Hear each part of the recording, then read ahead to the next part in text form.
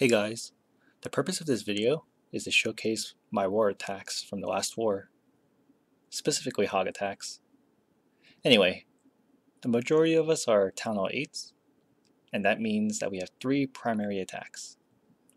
Dragons, Hogs, and Go Wipe. For Dragons, we pretty much learn the fundamental skill of funneling from Town Hall 7. You know, make sure that your dragons go into the center, take out the air defenses, and then clean up the rest of the base. Then, on to Town Hall 8, you have to worry about another air defense. This made it a little harder because now you have to choose between either zapping one air defense with 3 lightning, or bringing 2 rage and 1 heal, so you could just destroy a cluster of air defenses and hope that your dragons survive long enough to clean up the rest of the base. In any case, it was kind of a hit or miss strategy sometimes, but then Hogs came along, and this is definitely my preferred method of attack now. Hogs, a lot, well, first of all, Hogs give the player so much control over the outcome of the battle. If you had a strategy and you executed perfectly, Hogs will win no matter what you can always dictate where your hogs go because they target defenses, so they're not going to go mindlessly into some other random building that you don't, care about. Anyway, this video will go into more of the intricacies of hogs and how I plan my attacks in war. Oh yeah, by the way, Go Wipe. I guess Go Wipe is an okay attack. I'm personally not a fan just because it's a two-star attack. It is it's designed to go into the core. I mean, it's a core diving attack after all. But after two stars, it kind of peters out, and it's just so hard to get that last star. So it's just not recommended unless we just need two stars, which is sometimes the case when we're outmatched in war and we have to attack a Town Hall 9 or even a rush Town Hall 10. Anyway, just remember, two star attacks do not win wars. Go Dragons or Hogs. Alright, let's go to the war screen. War has ended. Victory! Congratulations, guys. You guys made fantastic attacks during this war, and it seems like everyone's been improving. Just pat yourselves on the back, because you guys earned it. Alright, look at that. All top 5 3-starred. Oh yeah. All top four three stars. Oh yeah. Well, we were just one star shy of a perfect war, but it's a lesson to be learned. Anyway, time for my attacks. Let's go and scout number three, the first person I attacked. Alright, this is going to be the typical opponent that we face. A maxed out Town Hall 8. Well, maxed out in defenses at least. Walls are getting there, but this is going to be pretty typical. Now, the first thing I look for are gaps. There are two gaps next to this town hall. That means that it can be a giant bomb or a Tesla. Now, the gaps show what kind of traps the opponent is hiding. Usually you want to look for 2 by 2 spaces for giant bombs and Teslas, and there are a total of six of them. So three giant bombs and three Teslas are what you're accounting for. Now, these are two spaces next to the town hall, one space between the clan castle and the storage, and one next to the air sweeper, and two more gaps between these wizard towers and this archer tower. Now, this layout is flawed just because of this one gap that you see this gap, you should exploit it. Take advantage of it by putting one barb in there to get free scouting information. If it's a giant bomb, awesome, one less giant bomb to worry about. If it's a Tesla, okay, now I know that Teslas are here and the giant bombs must be elsewhere, which means they can be within these remaining four uh, gaps. So look for gaps in the enemy space and predict where the giant bombs and Teslas might be, so that way you know where to put your heals. For example, if this is a giant bomb, then and this might be a giant bomb if no Tesla pops out, I'll probably place a heal right here so that way it covers the wizard towers as well as a giant bomb. That's just an example. In any case, people most people know how to heal. They know how to heal forward and ahead of their targets so that way the hogs are always in within the radius of the heals at all times. Second, the second thing that people should worry about after those traps are wizard towers. These guys. They cause massive damage to your hogs. It may not look like it, but they can really ruin hog attacks. If a hog is anywhere less than full HP and it triggers a giant bomb, they're going to be wiped out.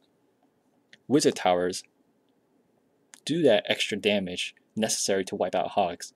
And since your hogs tend to be clustered during the attack, there's just no chance for them unless they heal and destroy the wizard towers before they trigger giant bombs. Wizard towers should go down quickly. Make sure that your hogs aren't too clustered and at least swarming around them. It may be a little hard, but at least you have your heals to help. Now, the third thing I want to talk about is this guy. This guy right here. Barb King. He's a showstopper for hogs. He can destroy your hogs as they're passing by. In most cases, you can actually lure them out, and some people try to, or tend to, trade their Barb King for the enemy's Barb King. I find that to be a pretty mad trade, honestly. I'd rather hold on to my Barb King for a while for tanking purposes. And DPS, of course. Barb Kings can actually be completely avoided. That's a tactic that I use. I want to just circumvent them. I want to make sure I destroy all the defenses around them and then end the attack on him. What that means is you want to destroy all the defenses on the northwest. Then you want to destroy the defenses on the northeast. Then you want to destroy the defenses on the southeast. And finally come down to the southwest and destroy these defenses so that way there are no more defenses left for the hogs to target. And instead, they'll go in free attack mode and attack the nearest buildings or the Barb King. There we go. If a hog ends at the Barb King, then that's fantastic. The attack will probably succeed because they haven't been uh, whittled down by the Barb King throughout the attack. So this will di dictate the direction I attack from, which is north. Now, we need to always lure the CC. Take into account the housing space of the CC, which in, right here is 25. It's probably not going to be lured by that gap. Hmm, nah, not really. So I'll just place the a barbarian on the Dark Barracks, bring them all the way north onto this army camp, and then send my wizards and barbarians to just wipe them out. Essentially a kill squad. Now, the reason I want to uh, lure them up north instead of, instead of just taking them out south is because I want my wizards to survive the attack. I want them to clean up behind the hogs I'm sending from the north. This way, I don't have to waste my wizards. I mean, sure, they'll take out the CC, but I want them to continue on throughout the battle, cleaning up behind them, behind all the hogs, that is. Um, now, how do we attack? Well, we could just mindlessly drop all the hogs onto these defenses. Yeah, that'll probably work. But at the same time, what if there's a better strategy, which is tanking for the hogs before they reach the enemy point defenses. Look at the range of these cannons. Alright, if I place a unit on this gold mine, it'll tank those two point defenses and the hogs are free to go in from the sides.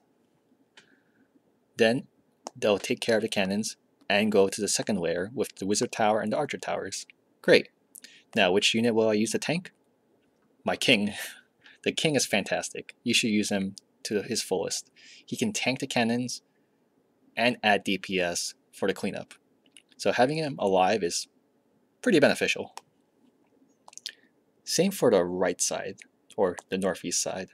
I'm going to place a giant on this next to this elixir collector and tank these two point defenses while my hogs go in and destroy them. Giants have relatively about 50% or more health than hogs. I mean, level 5 giants, that is. So they'll last longer, and that means you have extra hogs for DPS because they'll survive longer. After I take care of both the northwest and the northeast, I want to take care of the east and southeast. So hogs will go converge on his mortar, as well as the wizard tower and archer tower, and probably CC hogs on the cannon. This mortar will probably be taken care of by other hogs on the west, and maybe a couple hogs will be sent in from the gap to take care of the wizard tower. This will all happen during an attack because, well, it's a replay. Alright, let's go see it in action.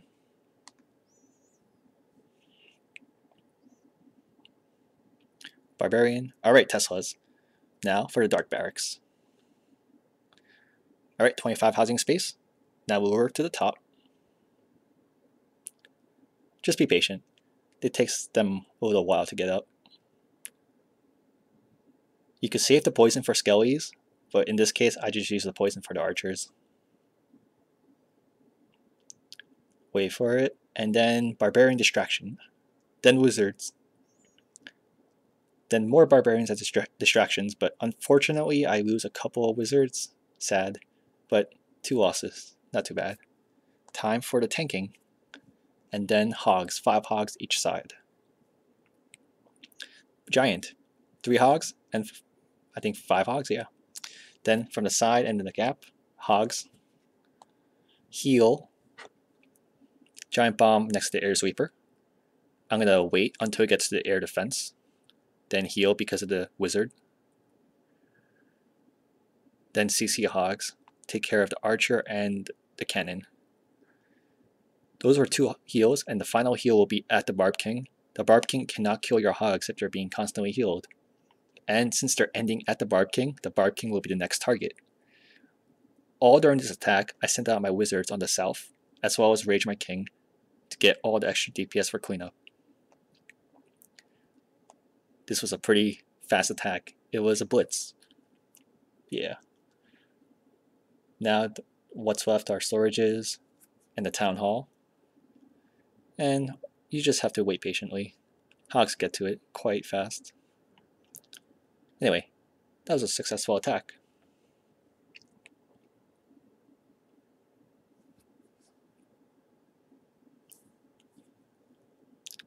Alright, Let's go like look at one more base. Number one. Let's do this one quickly. This was their number one for some reason. And it's funny because this is a pretty bad layout. I mean, look at that. It's an anti-dragon base, right? But for hogs, this is this is an incredibly easy base to do. Just because everything is so tightly clumped together that there are no gaps for traps. So you don't have to, I mean, except for the middle, then you already know, all right, the middle is probably going to be Teslas and giant bombs. So that's where you'll probably heal. While everything on the outskirts, the outer edges, will just be destroyed without impunity. Now, taking a look at this, look at this uh, the Barb King is in the northeast. Hey Barb King. That means I want to end my attack on the northeast. The CC range uh, looks like I could get it from this gold mine. And let's see. Oh, look. If you look at the, the deployment edges, limits, you can actually put a unit right here between the collector and the dark barracks. It's probably going to trigger something, a bomb or a Tesla. So take advantage of it. I'm going to send one barbarian to just trigger it. And one more, or actually a giant, because a barbarian will not go in between these this dark barracks and this gold mine. In the meantime, if I send a giant, it'll tank these three point defenses. That's incredible. If it's tanking three defenses, a giant is warranted because those defenses will kill a hog outright while it's approaching. So might as well just use a giant and get a little bit of extra time while your hogs approach them. Here, I'm going to use my Barb King to tank the Wizard Tower, Cannon, and Archer, so that, that way my hogs are safely coming up from behind. As for a CC kill squad, it'll be from the south. Since I'm doing my attack from the south, I want my CC, my kill squad from the south as well. afterwards, I'll probably send hogs to the west.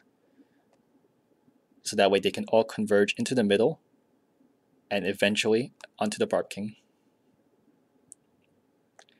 Let's see all of this in action.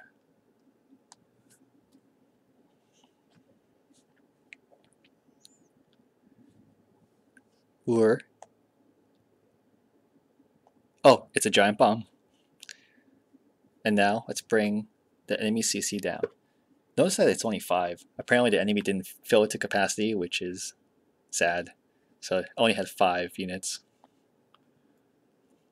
Wizard to take out the archer, and to take out the other wizard.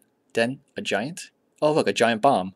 Tank that giant bomb, so that way our hogs don't have to. Then the Barb King. Tank everything so the hogs can just go freely. Then from the northwest. Oh, the hog didn't go into that area. Oh well, it's fine. Alright, now these are Teslas, which means this must be a giant bomb. Let's pre-heal. Make sure that we don't get destroyed.